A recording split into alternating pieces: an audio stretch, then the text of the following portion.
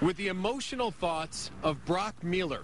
He knows a different side of Rich Rodriguez. Rich Rod and his staff adopted Brock's cause after he was partially paralyzed in a car accident.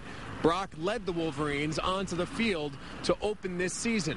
And today, he was the most emotional as he walked out of Schembechler Hall. He's always just been shown as a villain, and uh, and he's nothing like that, you know. And I mean, he's one of the greatest guys I've ever met in my life, and you know, and I wish people would just acknowledge that. And whether or not he, you know, works out as a Michigan coach is maybe a totally different story. And uh, as little as I know about football, I do know, um, you know, his character is much different than what um, people have played it out to be.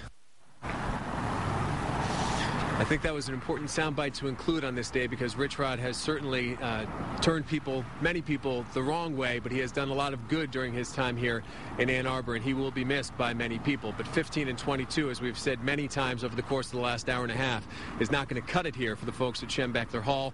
Rich Rodriguez relieved of his duties. Does not look as though Jim Harbaugh will be his replacement. He currently is meeting with the San Francisco 49ers. Could be Brady Hoke, could be Les Miles, could conceivably be Gary Patterson from TCU. Been a busy day here in Ann Arbor. Reporting live, I'm Tom Leyden, Channel 7 Action News. Yeah, Tom, thank you.